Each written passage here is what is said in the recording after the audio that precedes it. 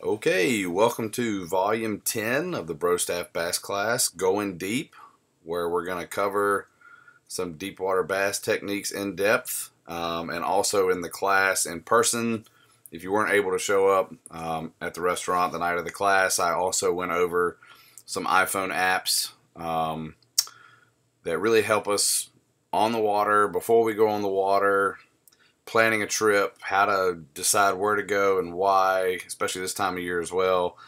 And I'm going to make another video on that. Um, so this one I'm just going to go over the deep techniques because that one is a little harder to understand without actually capturing a lot of phone images and and directions of how to get through the apps. So we're going to go over the, the deep water bass techniques in this one and then I'm going to make another video that'll talk all about the technology stuff. So don't worry about that.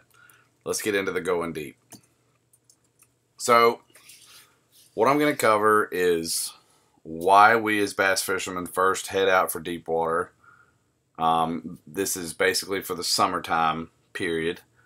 Um, and then once we're out there and once we know we want to fish deep, we want to fish offshore, what are some soft plastic setups um, in very particulars? and what are some hard bait setups you can use and very particulars about them too. So we're going to go into all that. We're going to get started with why do we go out deep. So bass fishermen, I'm guilty of it. Everybody's guilty of it. You'd rather fish shallow. Most bass fishermen would rather fish shallow. Visible cover, fun fishing around trees and grass and docks and, and riprap and things like that. So there are a lot of reasons why you don't want to go out to the main channel or you don't want to get off the bank enough and turn your back to the bank and fish something that you quote unquote can't see. You know, you'd rather fish shallow. You don't have a good enough depth finder. There's too much boat traffic out on the main channel and it's boring. It's a slow way of fishing. Well, we're going to get rid of all that. I was guilty of that before. I'm not guilty of that now. And I want to help you guys get over all this mess too. So why we go out deep when you talk about just the natural conditions of all our reservoirs, and this will change a little bit based on where you are. We're here in Charlotte, North Carolina, um, and we have a lot of southern warm water reservoirs. They've got small creeks feeding them. They've got a big old dam. They've got a nice, you know, deep water section near the dam. They usually have a smaller, more natural area up in the river portion of it. But most of the time, reservoirs around at least the east and the south are going to be very similar. In the spring, the temps are in the 50s and 60s, and the oxygen is well mixed. The fish are loving life. They're happy. They're up there spawning.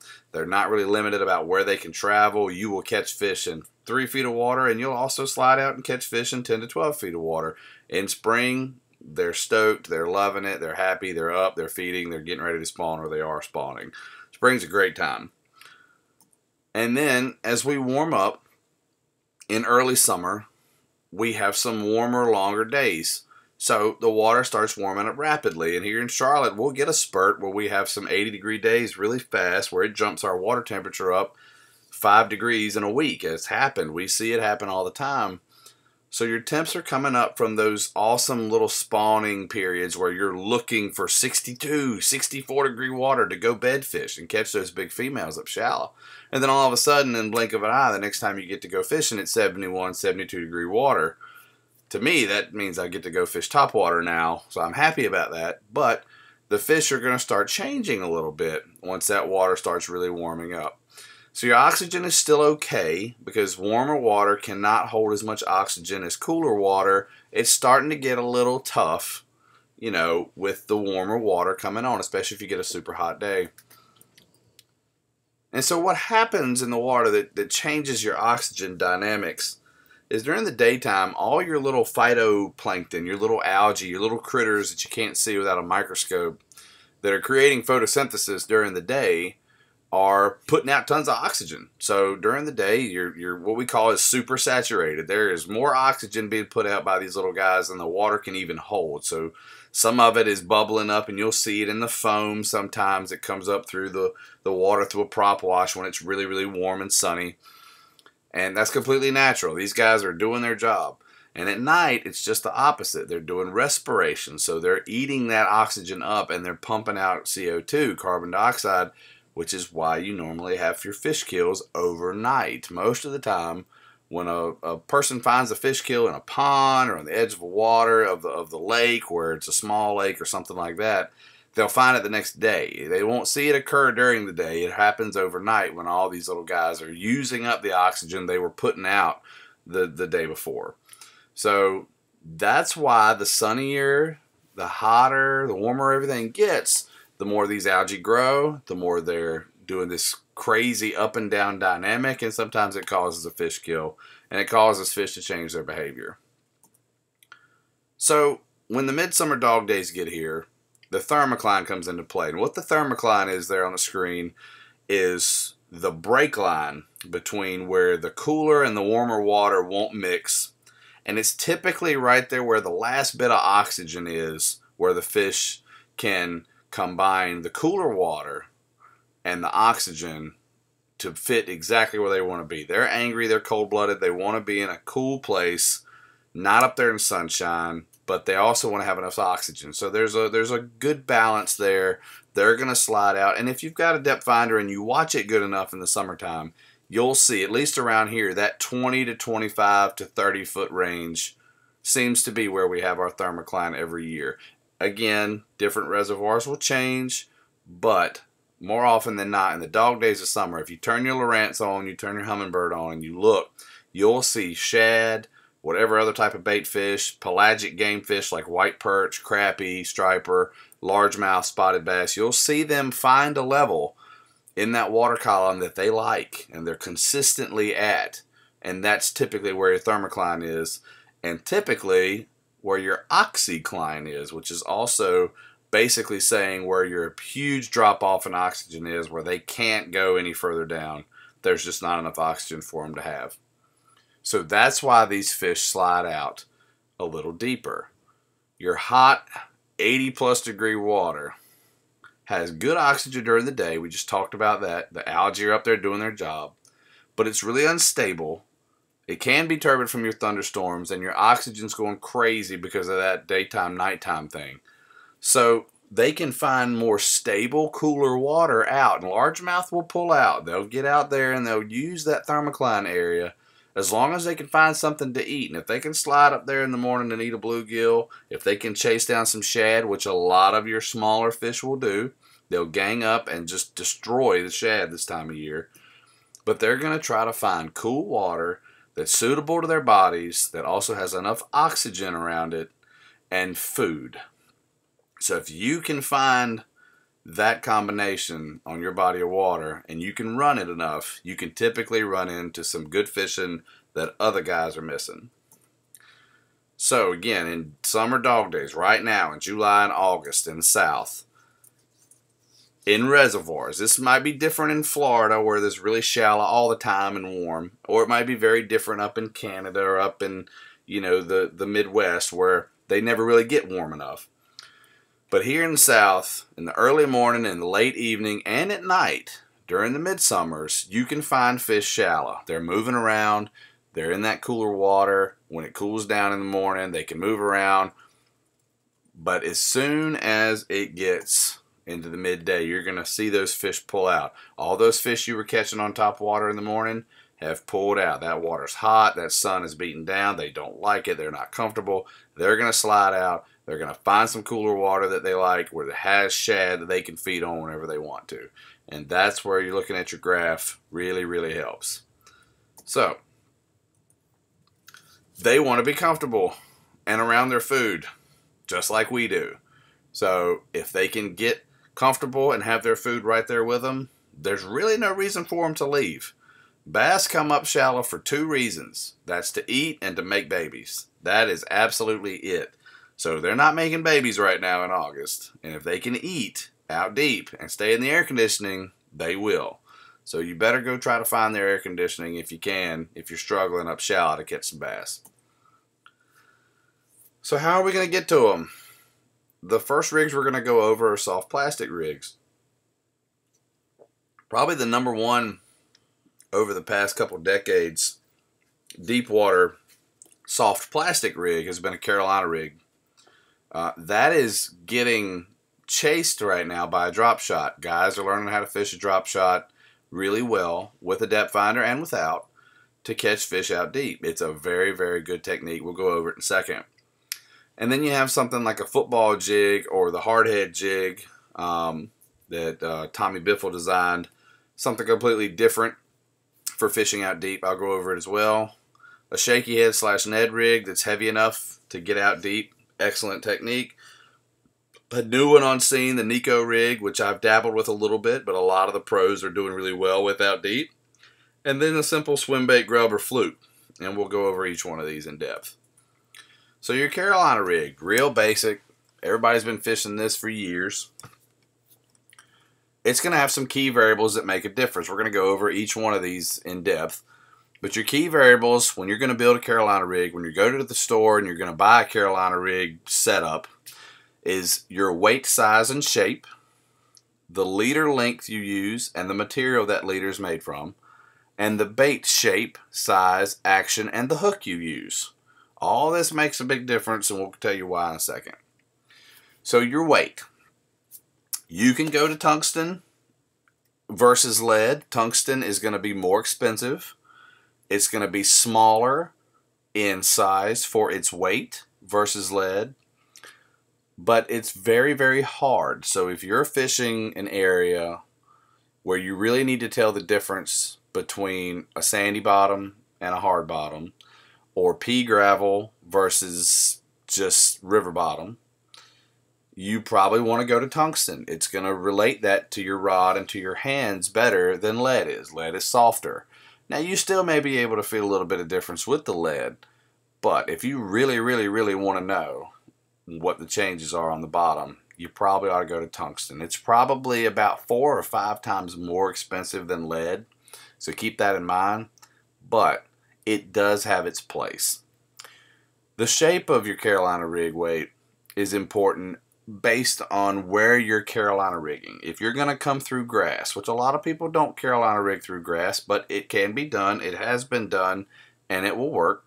You don't want a bulky egg sinker coming through the grass. You want a bullet sinker. However, if you're going to be on a hard bottom, dragging off a point, dragging off a big flat, the egg sinker is going to do better because it doesn't have a pointed nose. It's round. It's going to roll over those things a little better. And then you have a little finesse tech weight there, the little cylinder weights, and they're kind of a mix between the two. So they're round, but they're slender. So they'll kind of do either one. The issue is they're still very skinny. So if you come through rocks and stuff like that, you're going to hang up with it. It's just a smaller presentation. It doesn't bulk up as much and look quite as fake. I haven't had a ton of applications for the Finesse Tech weights, but they are out there, the little cylinder weights. More often than not, I'm throwing an egg sinker.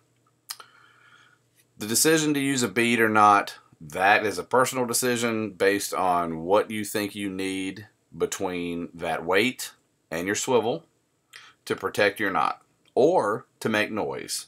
A plastic bead is not going to be quite as loud as a glass bead However, if you use a glass bead, it's more likely to shatter and crack a little bit and it could cut your line. So, there's a give and take in everything in fishing. So, if you want to use a bead and you want to make as much noise as you can, but you're worried about cutting your line with a glass bead, then I'd probably add another plastic bead just to make a little more noise for you. That's if you want to use a bead at all. Personally, I do not. I don't know that it's hurt me or not but a lot of guys use them. Give it a shot and see what you think. And make sure your Carolina rig weight is heavy enough. Um, this is also going to depend on your bait style, which we'll talk about in a sec. But you don't want to be struggling to, to wait and let that rig get down. So if you're going to fish between 10 and 20 feet, you probably don't need anything more than a half to a three quarter if you're going to go 20 to 30 to 35, 40 feet deep, you probably need to go up to that ounce area to, to get it down, to keep it down where you want it. Just make sure your weight is heavy enough to do the job you want it to do. Your leader length, believe it or not, will make a big difference as well. And thinking about this, you know, if, if you haven't before, when you look at it like this, it makes perfect sense. The shorter the leader is, the more responsive your bait's going to be to your rod tip action. Whether you're twitching it, dragging it, hopping it, whatever you like to do with your Carolina rig, your bait is going to be more responsive because there's not as much slack or distance from your swivel, which you're, you're really moving the swivel. When you do this work, the weight and the swivel are the ones doing the work. The bait just follows. And so, knowing that, if you need more action out of your bait and more manual action than just it falling on its own and it following behind the weight, then a shorter leader might help you. However, if you're worried about the fish spooking off the rig, if you're worried about it um, hugging too close to the bottom, falling too fast to the bottom, whatever, you may want to stretch out to a longer leader. I think guys use a longer leader more to get the worm or the bait itself separate from the rig, from the weight and the snap and the swivel and all those things. Um, and that's fine. It seems to work really well. I usually use about a foot and a half leader, sometimes a two foot. Um, my dad usually uses about a 10 to 12 inch leader, and that's it, if that, and does just fine. So just know that the distance of your leader can greatly impact how your bait moves, how fast it goes to the bottom, and whether or not it stays down there a lot more locked or a lot more free, depending on what you do. Then the material your leader's made with, and we've talked about the different types of line already in the multiple applications and why they're good and why they're bad, but this is just a basic layup of the difference in the leader material you'd like to use. With mono, it's what I had used for a long time. I think I'm actually still using it right now um, on my Carolina rig. I haven't thrown my Carolina rig in about a month. Um, it's going to float a little bit more, so it's not going to plummet to the bottom once the weight hits. It's going to kind of bag in the water column, especially if you use heavier mono because it, it really it's thicker so it's going to bag in the water column a lot and not just plummet to the bottom but it's going to have stretch to it. So just know that if you have a thick bait with a thicker shanked hook it's going to take a lot more pressure to pull that hook into the fish's mouth. You know mono is going to stretch some so you have to be aware of that. However fluorocarbon which has little stretch at all sinks like a rock so it's kind of a give and take kind of thing it's it's going to fall on down to the bottom. It's not going to have quite as much lift and quite as much flow when you're fishing the bait, when you're fishing the Carolina rig on the bottom, but it doesn't have any stretch. So your hook set's going to be pretty good. When you hit them, they're going to feel it. And then braid. I don't know anybody that fishes braid as a leader. It does float very well. It has zero stretch, but is extremely visible. So most of the time, a Carolina rig is a sight bait. Um, I think if you do use a brush hog or you know a lizard or something like that with some movement to it, that it will help in dirty water. But um, I think it, it, they would very much see your line. So as long as you're cool with that, then you'll be good to go. Braid is not going to break. It's not going to be quite as um, quite as as I guess, thick is your mono or your fluorocarbon, so you would be able to get away with a smaller diameter. But it's going to have very little stretch, and when you hit the fish, you better be ready to have some drag slip a little bit so you don't pull it out of his mouth on the fight end. But just different reasons to fish the different types of line. Really no different from anything else you'd use these three lines for.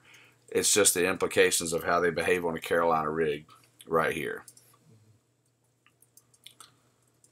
So your bait choice makes a difference as well. And not only for the forage you're trying to mimic or the size, but how much you want it to act, quote unquote, on the fall and then on the retrieve. So a straight do nothing style bait like a Senko, like a trick worm, or like that Super Fluke Junior right there are they're going to go straight to the bottom. There's not going to be any action hardly at all on the fall or when it's just sitting there. when you pull it, it's still not going to have a ton of action. There's no legs, there's no curly tails, there's no, you know, ribbon tail or anything like that to make movement. So it's a very subtle, natural presentation, which is great for clear water. On the fall, again, nothing. It's going to drop straight down in a do nothing style. When you move it, all the action it's getting is from your rod tip. However, when you go to something on the right side of the screen, like an ultravibe speed crawl, a brush hog, or a zoom lizard, they're going to have a lot of action on the fall and a lot of action when you pull them. They're going to call fish to them with their movement, with their thump, their curl, their, their wiggle, all that. And it'll also slow the fall of the Carolina rig more than the fluke, trick worm, and Senko did on the left side of the screen. So a lot of things to think about. If you want the action to go down through the water column, it's going to take it a little while longer to get down there. And then it's going to try to lift a little bit more when you pull it. Those curly tails are going to lift that bait up a little bit off the bottom. Whereas the other baits on the left up there, the worm, the fluke, and the Senko, uh, they're going to pretty much just stay on the bottom. They don't have any action to yank them up at all. So things to keep in mind. And the worms down there on the bottom left are kind of in between. They've got a little bit of action, but they're still natural looking. So typically that's where I start. If, unless I know I'm in a tough condition where the fish are real negative and the water's really clear, and then I'm going to go to a trick worm or a Senko. Every once in a while I'll try a fluke. But more often than not, I'm going to start down there in the left bottom corner with an Ultra Vibe Speed Worm, a Zoom 4 inch Dead Ringer, or that Strike King Rage Thumper worm right there is a new one, and see what's going on. If you know they're eating crawfish or you know a lizard is a hot bait, that's fine. Go start there. But I'm typically going to start with some kind of action worm to see what's going on. And if they stop biting and that water's clear and those fish are negative, I'm going to slide up the screen to the left corner and try something very natural and subtle before I go to the aggravators on the right over there. If you're in dirty water, fish are aggressive, start on the right side. Get those ultravibe speed crawls, the brush hogs, and the lizards ready to go, and then change if you need to. But your bait choice makes a big difference as well. So the drop shot. Very popular now in clear water, extremely popular with smallmouth fishermen in the north. Um, every bass will eat it. You catch largemouth on it, spots on it. You probably catch striper on it if you really tried it'll catch pretty much anything depending on how you fish it. Its key variables are very similar in that it's still a weight and a hook. The weight, size, and the shape come into play in a different way. The leader length is important. Now we're starting to talk about whether or not you fish it weedless or you fish it with an open hook. And then the bait shape, size, and action again makes a difference, of course. So your drop shot weights are can be as complicated or as not complicated as you want. When I first started drop shot fishing years ago, back in 2004, I just had an old Bell bass casting weight over there on the right. You can get about eight or nine of them for a dollar and something at Walmart, and they do just fine. And drop shotting got more popular, and drop shotting got more particular and finesse. And so we started designing these weights you see in the middle, which have a fast clip on them, which is you just pinch your line in there.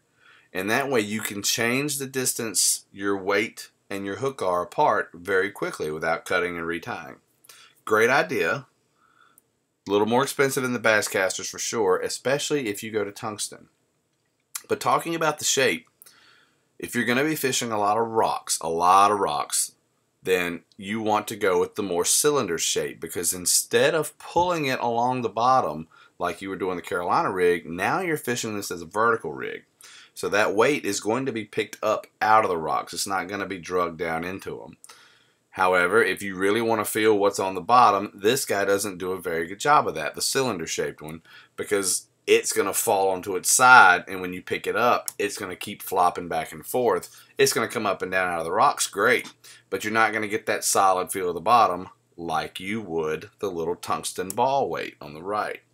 If it's if it's that important to you, more power to you. I use a bass casting sinker. I don't drop shot very, very, very much, but when I do, I really don't worry about what the bottom composition is.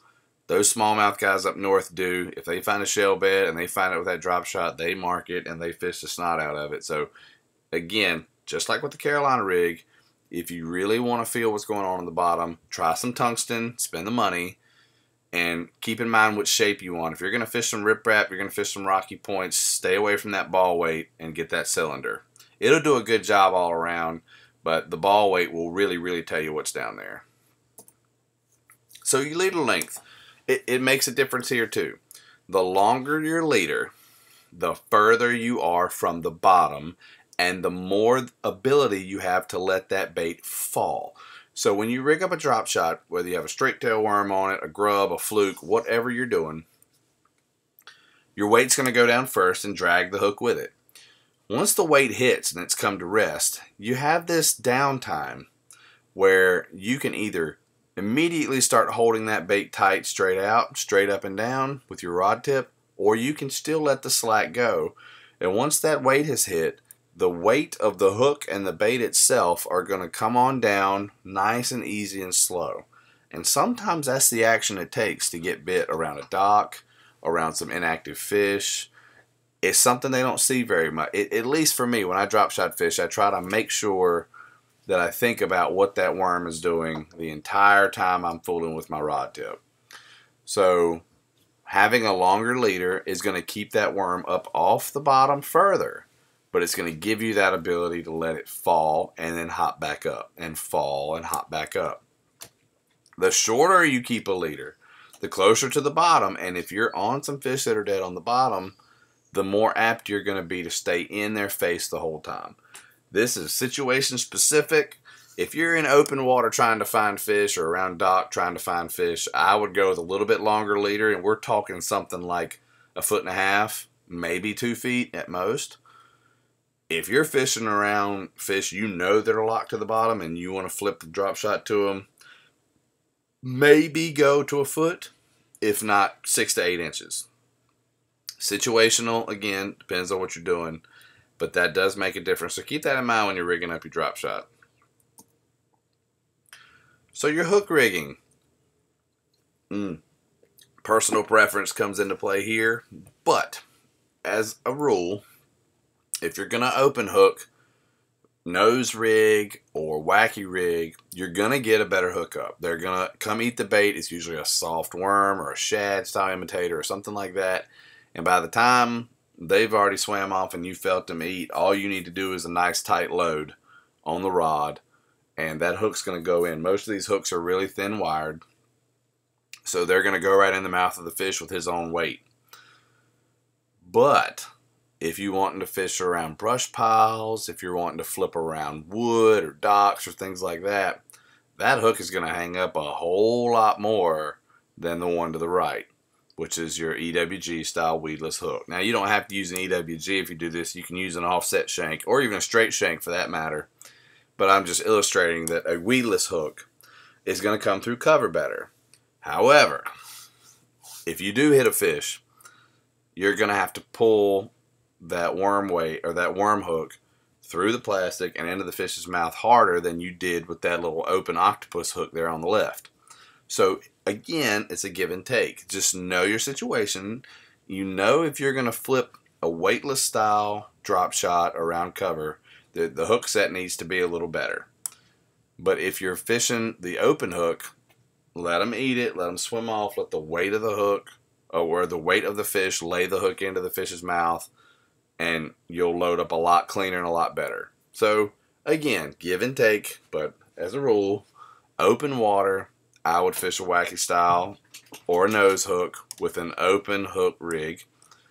Fishing around cover like brush piles and laydowns and docks that might have some gnarly stuff around it. Go ahead and get you some small weedless hooks to use for drop shotting and try it and see if you like it. So your bait options most of the time it's going to be some type of straight, subtle bait. Um, a power minnow, a robo worm, a dream shot. I started with a centipede.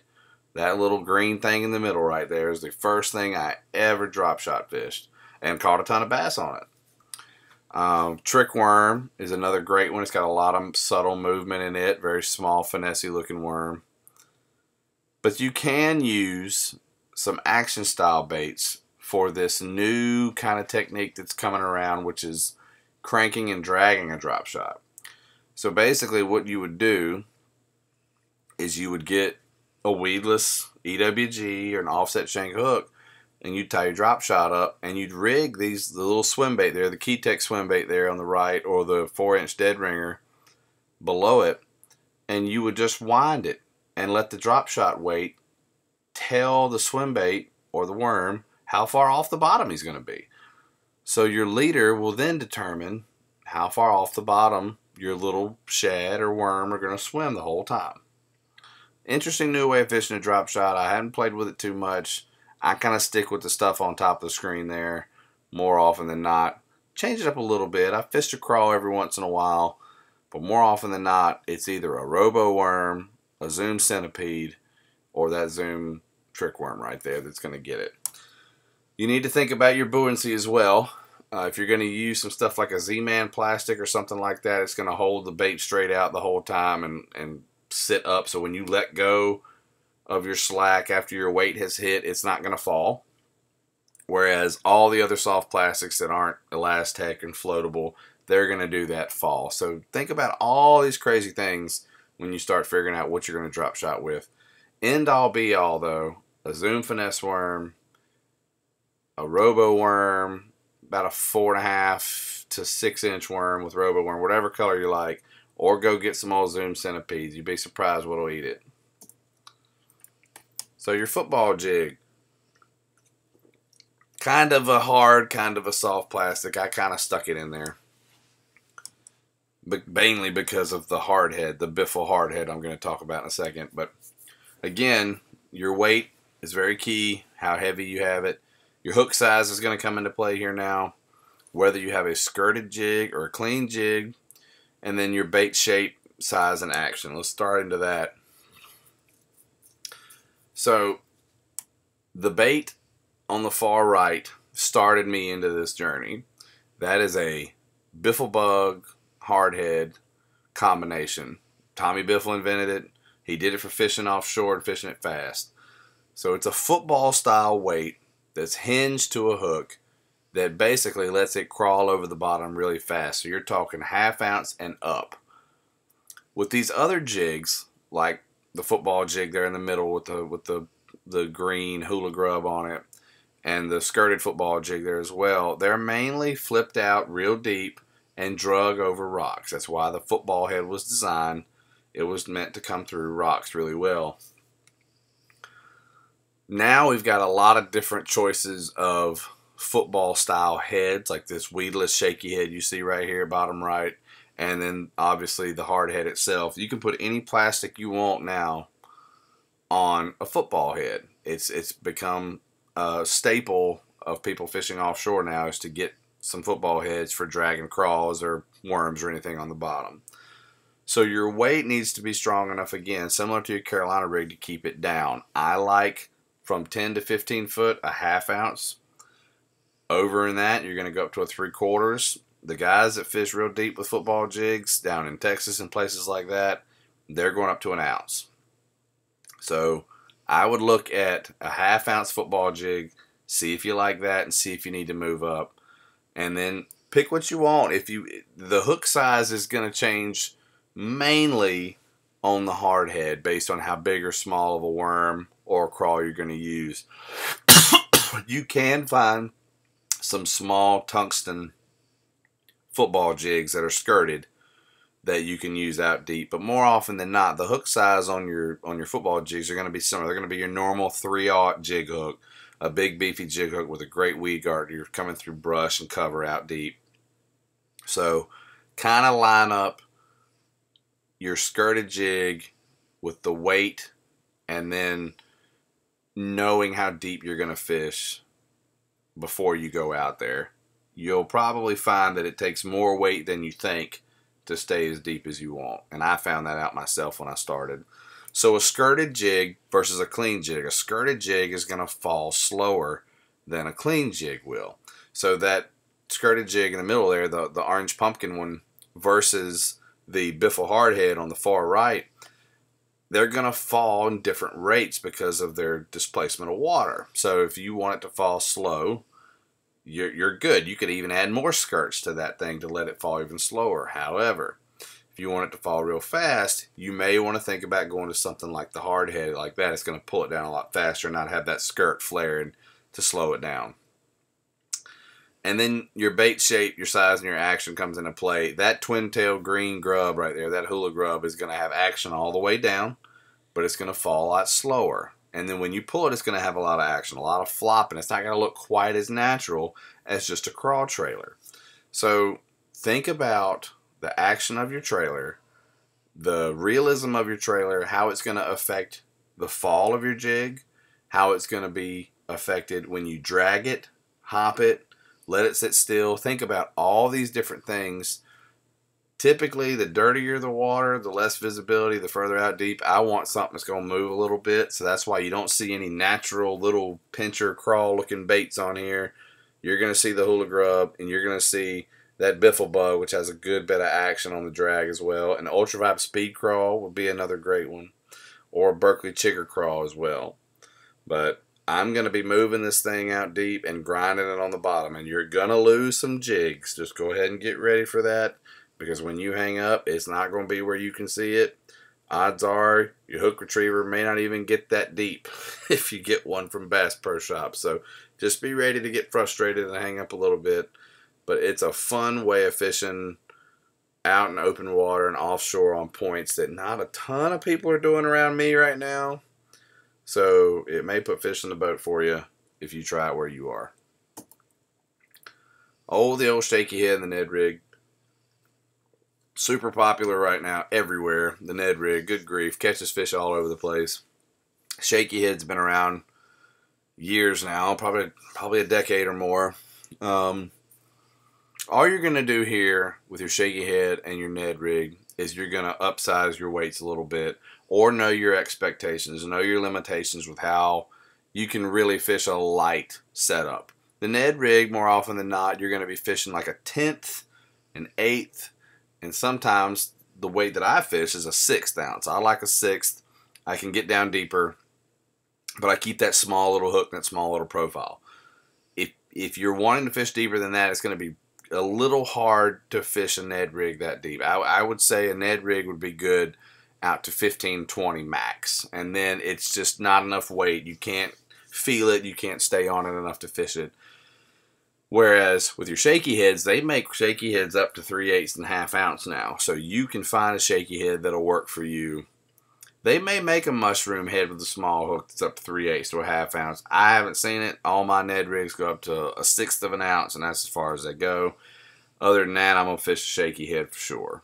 Um, the thread versus the spring keeper. Some guys say that the spring keeper causes them to miss fish. It doesn't let the nose of the worm move out of the way when you're setting the hook.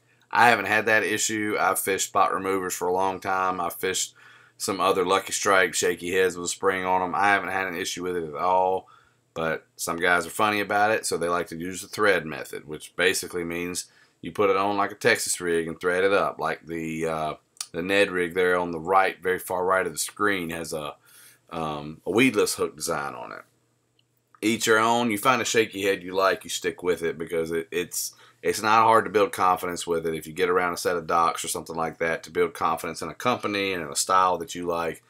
But out deep, you're going to basically fish these the same way. Um, your bait, shape, and size and action still come into play. The smaller and the do nothing that it is, the faster it's going to fall.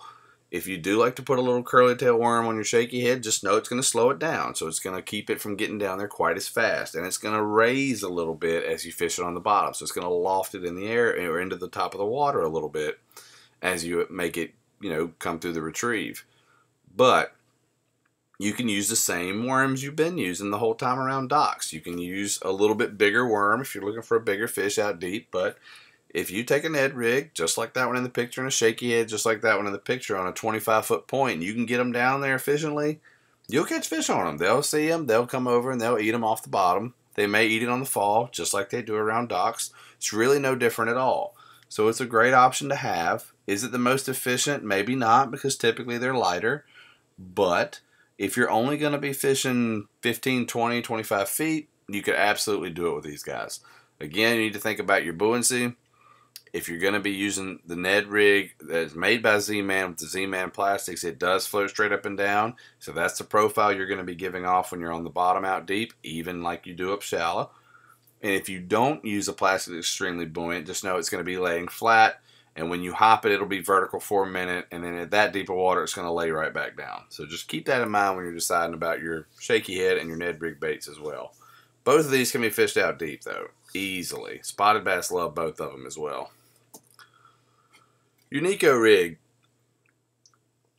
This one's kind of a mix between a wacky rig and a Ned rig, kind of the way it behaves. So, the key variables here again, just about like all of them, are your hook type, whether you're going to use a weedless versus an open hook, the weight, size, and type, the bait shape, size, and action you're going to use, and you're going to again decide about buoyancy. So, when you're rigging a Neko rig, you're basically adding a weight to the worm, or to the crawl, or to the plastic you're going to be using, and then you're hooking it in the middle, not in the front, not in the back. You're kind of hooking it about in the middle of the bait, and that's going to give it kind of a, a bending, wacky action. But the nose is always going to stay down. So it's a unique look where the tail is up and the nose is down, or in the instance of the crawl, his tail is up and his pinchers are, or his tail is down, his pinchers are up. So you can manipulate this thing in a bunch of different ways. We have not completely delved into what you can do with a Neko rig. But if you hear somebody talk about what a Neko rig is, it is a octopus or Kahle style small hook wacky rigged into a soft plastic that has an exterior weight, like a little weight that's added to it up through the nose to make one end of that bait go down while the other one stays up. You're going to want to fish this again on about the same line as you do a drop shot or a shaky head slash Ned rig, light spinning tackle, unless you go real heavy, real beefy, which I don't think you will because of those hooks that are designed for them are really light wire. So I would look at something like your shaky head, your drop shot, and your Ned rig setup, and just play with different baits. There's a fluke stick there on the left. Um, a Senko in the middle, and that's a, a Yamamoto crawl there on the right. So you could play with anything with this. A finesse worm would look just as good. Um, it's going to be a nose down presentation with the other part of the bait flopping, sticking up in the water. So something new, something different, um, easy to fish. Um, pretty much no wrong wrong way to fish it. Once it hits bottom, you're going to basically give all the action to the bait through your rod tip. Um, and they do hit it on the fall a good bit. I do know that as well. So something fun, something different to try. Neko rig. I hadn't played with it enough. Hope to do it a little bit more here soon. And then your swim bait grub and fluke. Old Casey Ashley threw that underspin right there down at uh, I think it was Hartwell when the classic was down there. It was real cold that year, and slaughtered them uh, in one ditch just crushed the fish that winter using underspin.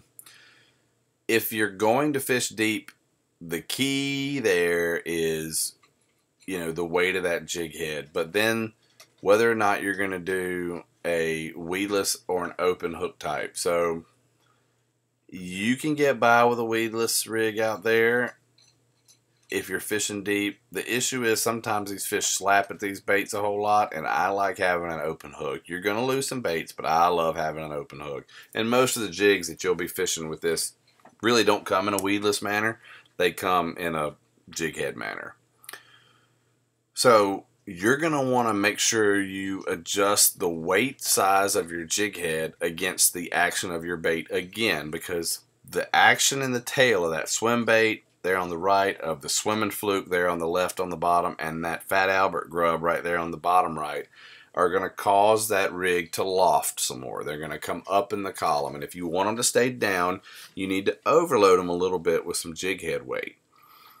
Um, the super flukes at the top don't do anything to that jig head. They're just going to hang there and look natural like a bait fish. all the action has to be either imparted by that cool little spinner there on the underspin or in your rod tip with your wrist. That is what you're going to do. You're going to impart all the action on that fluke because it's not going to do anything but sit there. So, again, the bait shape, size, and action dictate what you want. Typically, a slow, steady retrieve on your little boot tail and your um, underspin there will get it done. You can burn some stuff out deep if you have enough weight. Most of the time it's going to be a slow and steady retrieve or a pump and drop retrieve out deep. With the uh, the one little jig head there on the top right, the moon eye jig with the fluke on it, that's going to be strictly a, a twitch and jerk and pump situation. You're going to hop it, hop it up and let it fall, or you're going to put it right in front of the fish's mouth and sit there and jiggle it until he eats it. So it's almost like a jig head version of a drop shot. Um, they've been doing really well with that in open water smallmouth over the past couple of years. And uh, I've tried it a little bit around here, and more often than not, it's really, really good in schooling fish. If you know they're going up and down and up and down real fast on shad, it's something that's really efficient that gets bit really well up on top or deep. So think about that next time you're looking at a fluke. You can throw it on a jig head, even though it doesn't have any action in the tail, and you can do really well with it in open water out deep. Again, you're going to want to decide about buoyancy that's going to keep that bait lofted up. So just know that. Just know anytime you're trying to go deep at what the soft plastic you're using is going to do to prevent you from staying deep and adjust accordingly. So now we'll take a break from the soft plastics and talk about your hard baits. So we're going to go over a jigging spoon, a flutter spoon, a Jigging Rap, which is a cool new ice bait for me. I'm going to learn how to fish it here in the next coming months if I can find some open fish. A blade bait, a deep diving crankbait, and a lipless crankbait. Old jigging spoon saved me a many a day on the water when the fish are out deep.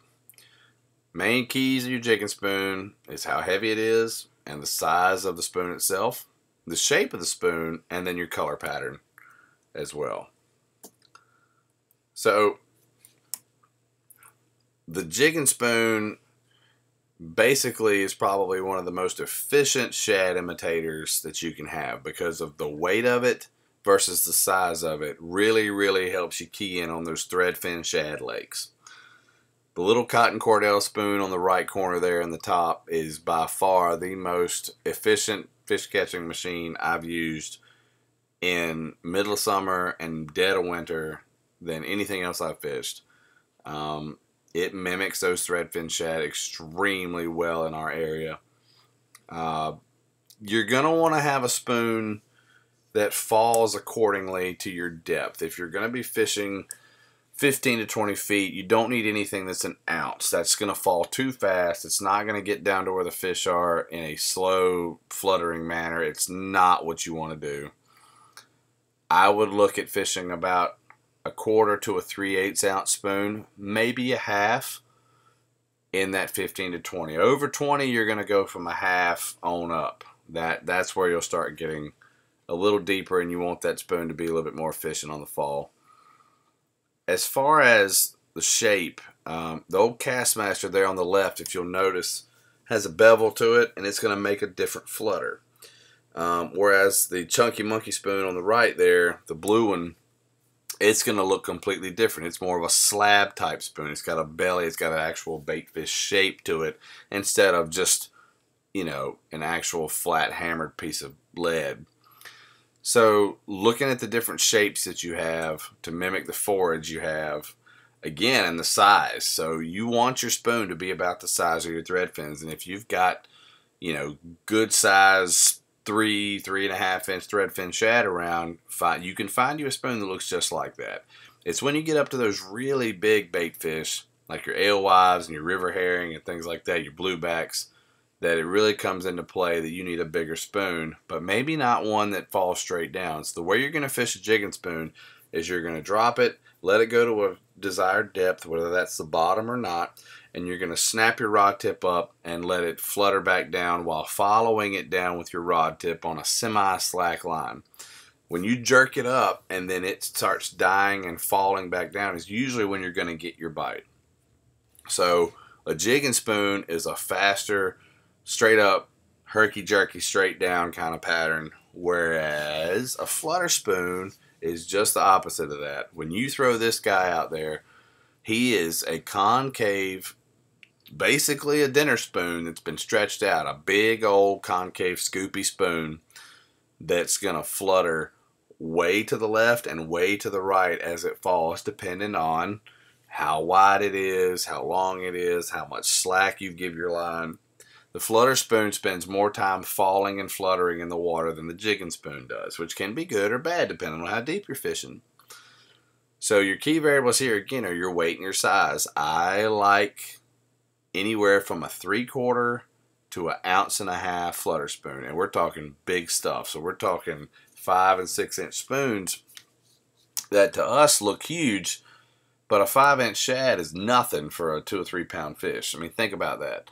So a little intimidating, but I've had some experience this past year with them, and I'm starting to learn them. I'm going to make myself learn them. They take a special setup though. They're pretty heavy. Like I said, three quarters to an ounce and a half. So you're going to look at fishing a heavy action rod with at least some 17 to 20 to 25 pound, you know, either fluorocarbon or mono. I'm throwing mine on 20 pound fluorocarbon and it's doing really well. Um, most flutter spoons are the same shape. They're mostly this long, elaborate scoop of a spoon. Some have feathered treble, some don't and then just match your color pattern. A plain chrome one is fine. If you have some stain in your water, go with a gold one. Um, if you know they're eating a specific thing, you can try to match that a little bit. But more often than not, it's the action and the flash of the bait that gets it bit and where you fish it. So what you're going to do with him, kind of the same thing with the jigging spoon, is you're going to find a targeted depth. You're going to pitch him out there, throw him out there, and let him go down to that. And you're going to pump him up real hard. And what's going to happen is that spoon's going to shoot up off the bottom, however far you've jerked him. And then he's going to spend a lot of time fluttering all the way left, then all the way right, the whole way down. So it's a slower, more elaborate fall, and it's a bigger presentation. If you're trying to mimic bigger bait fish like we talked about before, the jigging spoon does a great job of mimicking small bait Right here, your flutter spoon does an even better job of mimicking bigger bait fish. Like I said, blueback herring, big gizzard shad, things like that. You want to try a flutter spoon. It does take a special rod and reel to get it done and get it done right. So be ready for that. Look to your seven foot medium heavies to your seven, seven, six heavy rods to do this work. So again, we talked about our major differences here. So your jigging spoon has a straighter fall. It doesn't have a scoop shape and it's a smaller size for its weight. Your flutter spoon has your wider fall. It has your heavy scoop shape and it has a larger size for its weight. And when you look at the two, basically this is how they work. This is a terrible diagram, but it kind of gets the point across. So your jigging spoon there on the left, it has a more straight flutter of fall and it comes fast. You can see it's it kind of doesn't do a whole lot of shopping on the way down. It's there. Whereas your flutter spoon there on the right, it goes back and forth like a Christmas tree till it gets down. So depending on what you think they're doing, if they're eating those big baits and you want to give it plenty of hang time, go to a flutter spoon. If you're trying to get down to the fish with a smaller profile, go to the jigging spoon. The Jigging Rap. I just got two of them in the mail the other day to try. Open water fishing is going to be interesting with these guys. So the variables here are going to be the weight of it, the shape of it, and the color pattern. Pretty basic. These guys have been ice fishing techniques for a long, long time. And kind of embarrassed that I haven't tried them yet, but we're going to fix that problem now. So with your Jigging Rap, it's a complete vertical presentation. It is straight up and down and how they're behaved is they have you know hooks on the ends of them but also hooks on the belly. So you're fishing straight up and down. You don't have to worry about hanging anything. You should be able to see what you're fishing. You wouldn't throw this in cover at all. This is an open water technique and it's basically a vertical shad hopping presentation. So you're basically going to pitch it out let it go to a desired depth. Again doesn't have to be the bottom and you're going to lift it up and let it glide, lift it up and let it glide, lift it up and let it glide. And as it does that, it's kind of doing a little hop movement like a shad that can't quite get away from something. And it looks so lifelike with its paint jobs that those deep water fish seem to eat it pretty well. I've seen a lot of guys do well on them, and I'm jealous. I'm making myself learn how to fish it, um, and we'll see how that goes. But it could, I could see it being a little staple.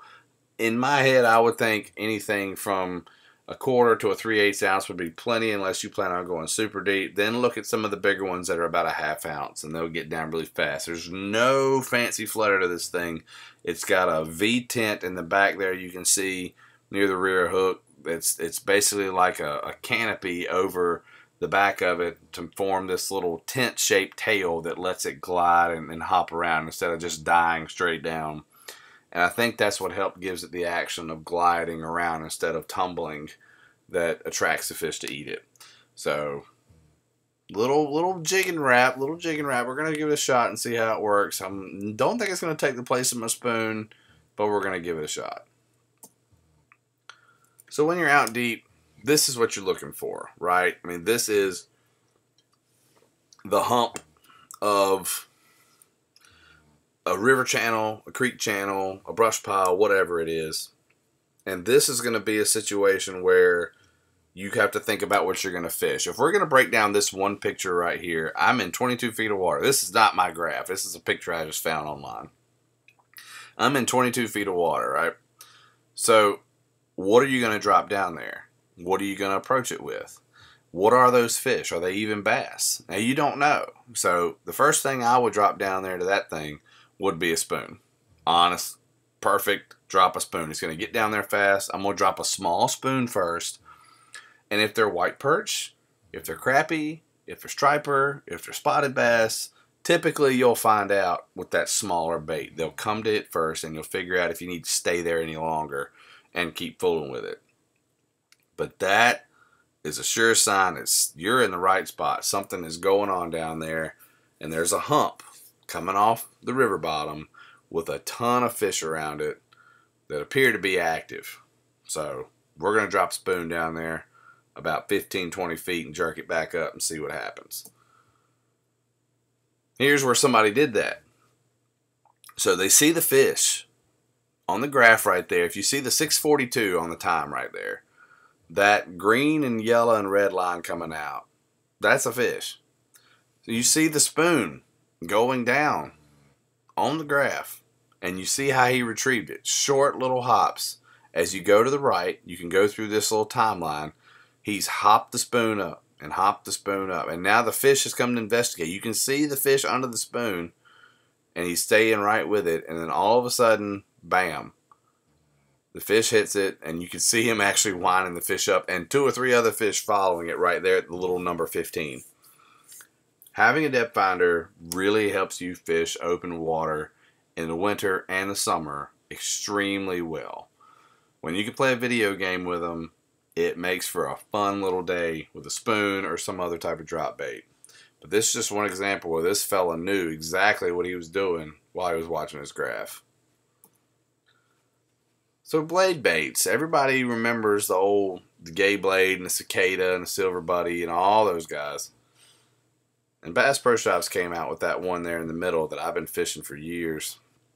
Key variables on them again, your weight, your color pattern, which isn't quite as important, your line tie position, and the retrieves you use. So the weight of it, again, you want it to be as deep enough as you can go. If you know you're going to be fishing deeper than 15, 20 feet, stay over a half ounce with it. I'd go to a half to a three quarter ounce. It's going to fall like a rock because it's a chunk of lead on a piece of metal. But again, the action of that bait fluttering back and forth is going to cause it to lift. If you wanted to fish it deeper than 20 feet consistently, don't go any lighter than a half ounce. If you're going to be around 15 or 20, you'll be all right with a half, three eighths of an ounce, something like that. But just keep in mind that you got to have enough weight to keep it down in the strike zone if you're going to fish out deep. The color pattern, again, I usually, with blade baits and metal baits of this type, I usually either have chrome or gold. And gold seems to show up a little bit better in dirty water than chrome does. But more often than not, what do those shad look like? They are flashy chrome bait fish. And that's what I'm going to use, that very color right there that you see. The line tie position, at least on a couple different blade baits that I've seen, including that laser minnow there in the middle that Bass Pro puts out. It has three different line tie positions there. You're going to put your line on that clip, but you have to hook it in one of those holes of that bait. Now, the further back you go, the more nose down he's going to be. Well, it depends on how you're going to fish it. If you're going to vertical fish it, that may be what you want. It's going to let it drop faster. But if you're going to fish it horizontally, like I fish it, giving away a secret, I put my line tie clip in the very front hole of that bait, right there in the middle. Um, it holds the nose of the bait up more like a lipless crankbait, and I think it looks more natural horizontally fishing it. So, so cranking it back in, which is what I do. Usually when I fish these baits, I throw it out, let it go to desired depth again, most of the time it is the bottom. I hop it up one time and then get it moving. Get it cranking in at a nice normal speed. So I'm basically lipless crankbait fishing with this blade bait, but it stays down so much better than a lipless. And it's a lot smaller for the weight. The other trees you can do with it are dropping it and pumping it up like a spoon. You can do some fluttering where you throw it out and let it pump it way up and let it go back down, pump it way up and let it go back down across a point. I'm telling you though, for my money, in the fall and in the summer, around schooling fish that are offshore, letting it go to the bottom, hopping it up, and keeping a nice steady retrieve deep, tough to beat. Tough to beat. In the wintertime, yeah, maybe. You may need to fish a lot slower, a little small hops off the bottom or something like that, but this time of year, they're chasing small shad and they're chasing them hard when they're down there. It's a good choice. So if I had to get one, I'd look at getting it a 3 eighths to a half and being done with it. But that's my that's kind of where I like to fish, that 20 foot range, 20 to 25. Again, there's a couple different you know versions of it. The Silver Buddy's there on the left's been out for years and years. The cicada there and the old gay blade there on the bottom right. It's basically a metal lipless crankbait with a chunk of lead near his chin that gives him the weight to stay down. That's what it is. But it's a great open water technique. It's kind of a hybrid between your crankbaits and your spoons that catch a lot of fish. And your deep diving crankbaits. Everybody's fishes one of these at this point in time. Your variables with this guy are going to be your diving depth, your size, your color pattern, of course, and your whether or not you're going to troll versus cast with it. So, looking at the bills of these baits, they're all straight out, right? So all your deep diving crankbaits are all straight out the nose to get that plane going straight down as soon as you start retrieving it. You should be able to look at the bill versus the size of the bait to kind of tell how deep you're going to go without even looking at the box. So that's a little 3XD by Strike King on the top left. And you can kind of tell that that bill's not very big. Look at the split ring. So you can kind of tell that guy's not going to go much deeper than about 8, maybe 9, 10 feet max on 8, 10 pound line. Subsequently, the DT16 on the far right in the top, you can see how big his bill is, how far it sticks straight out that guy's going to dive really well. The Hot Lips Express in the middle of the page there, the gray and black bait with the yellow band. Very complex, big, deep scoop diving bill. He's going to get down to about 18, 20 feet on a long enough cast. So knowing the diving depth of your crankbaits versus where you're wanting to fish is super important. If you're rolling up on a point and you're trying to hit a spot on that point 17 feet deep, you got to know what bait will even do that. Uh, are the fish looking up enough to use a 12 foot bait there? Are they hunkered down on the bottom, rooting around eating crawfish or gobies or whatever's out there? Bait fish, shad, all that. Where did your crankbait have to hit? Does it have to hit it the whole time? Or just at one point in time? Because your crankbait's going to make an arch, an upside down arch underwater. And you got to know that. You got to know boat positioning. You got to know how long your cast needs to be and where it needs to go. So that falls into your size. Having a crankbait that's big enough to get down where you want is sometimes more important, more often than not, than having it the exact size of the bait fish itself. The color patterns most of the time are going to be bait fish. You will find some sunfish and crawfish patterns. But more often than not, if we're throwing a deep diving crankbait, we're throwing a shad, some type of bait fish color. Get some good colors that are pretty universal. Uh, that sexy shad on the top left's hard to beat. Um, Rapala there on the top right, uh, the DT16 have some pretty cool colors coming out now. They had very limited selection when I first started fishing a DT16 back in 2009. Um, favorite color there was hot mustard though. Had a cool olive brown back and a yellowish belly that I thought stood out real well down deep and did real well on that color. But mimic what you want to mimic. Crawfish versus shad would be the key. I would say in the warmer months, do the shad. If you want to deep crank a little cooler, you know, in the spring and in the fall and in the winter, maybe look at crawfish then, especially if you're on a rocky point. And then trolling versus casting comes into play. And where that comes into play is in this little situation right here. So, a Bandit 300 pretty basic, small, deep diving crankbait. It'll go about 10 to 12. But knowing its trolling chart, I guess, is what we can call this,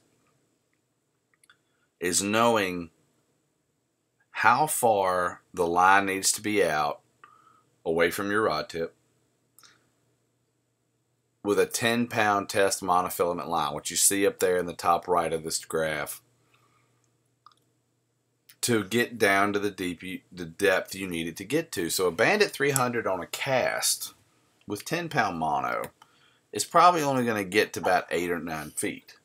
It, it's just not you can't throw long enough. Most of us can. I can't for it to have time to get down before it starts coming back up.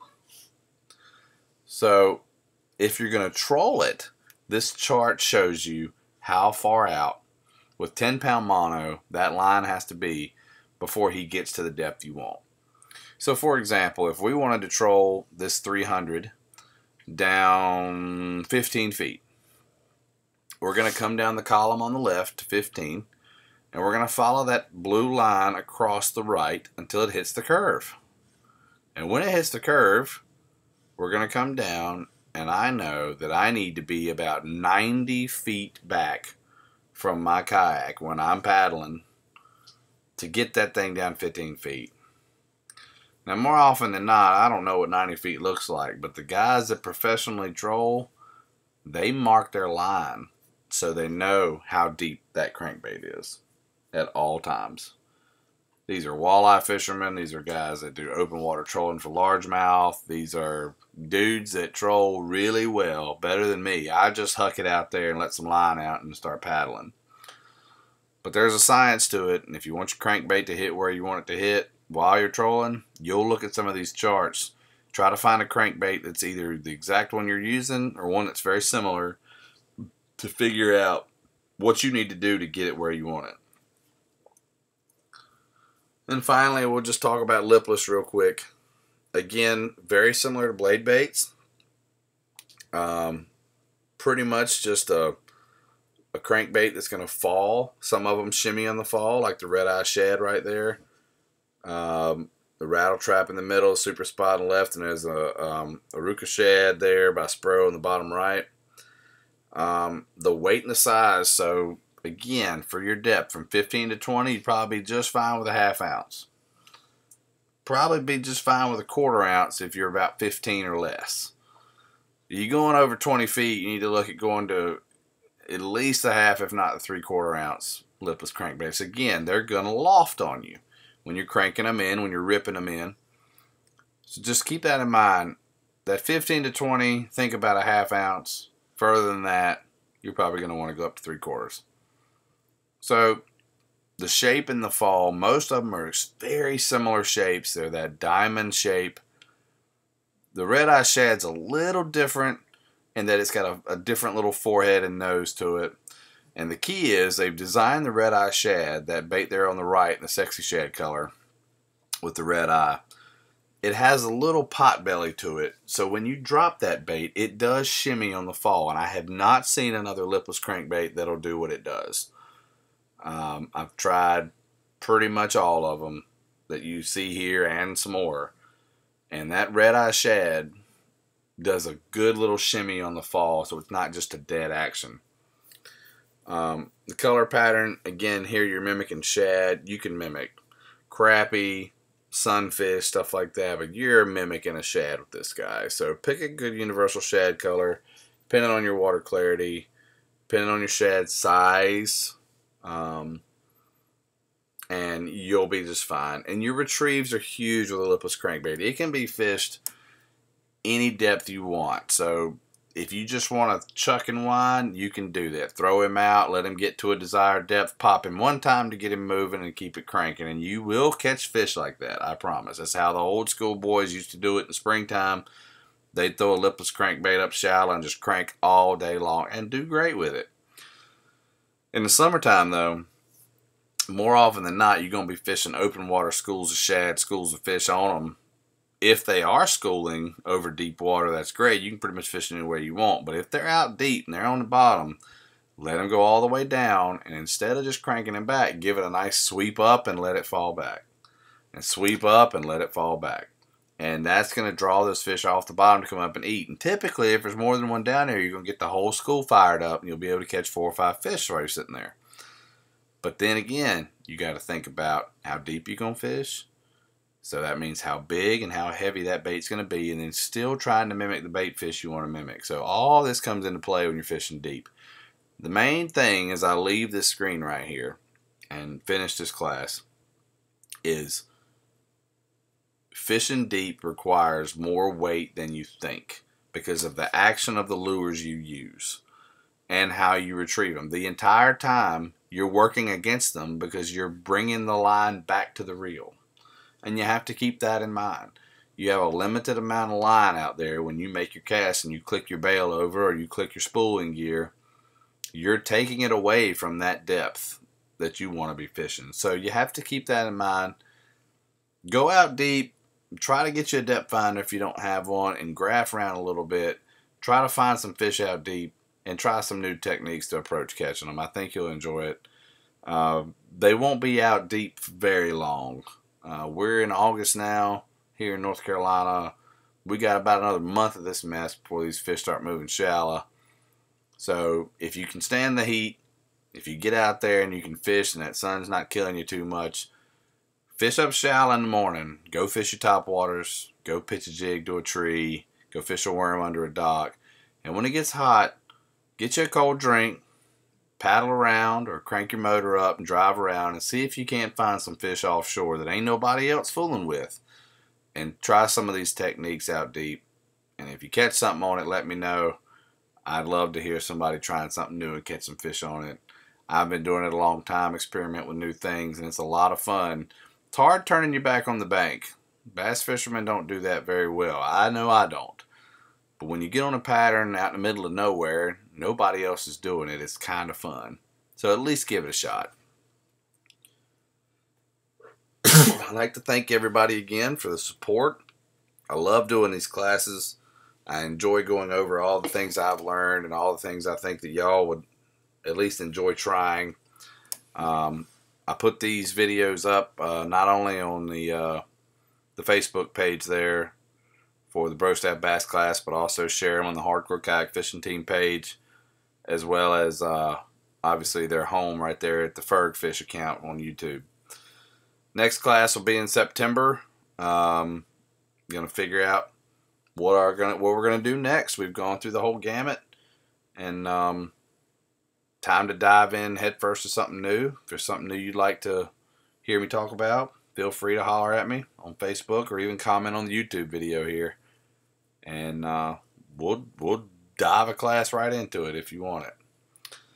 So thanks again, guys. I hope you enjoyed this. hope you learned something about deep water techniques you can use.